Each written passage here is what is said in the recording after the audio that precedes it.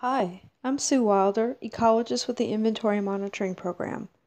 I'm here at Grand Bay National Wildlife Refuge learning about Nature's Notebook, and I wanted to share a little bit about it with you.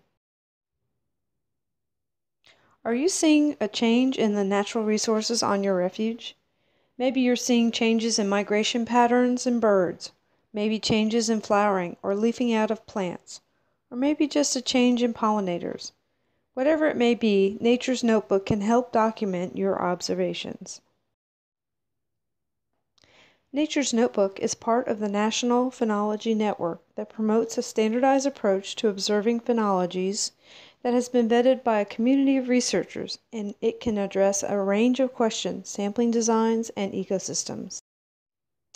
And it's easy to use. Attend training, select a site, pick a few species to visit over time, and add the data to an already existing database. Observation standards have been made for over a thousand species. Collect data on the current state, repeat it over time, and you will be contributing to a network of information.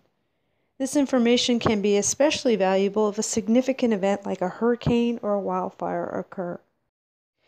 Like here at Grand Bay, for example, we recently experienced a large wildfire, and we can use Nature's Notebook to show the recovery from the fire over time for particular plants and animals. In the long term, we can use the information we collect to show response to management activities we employ to restore the wet pine savanna for the Mississippi sandhill crane that once occurred in this habitat. So join with me in setting up a Nature's Notebook site.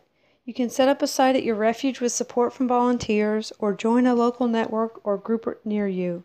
And let's get back to nature and watch nature tell the story of change over time.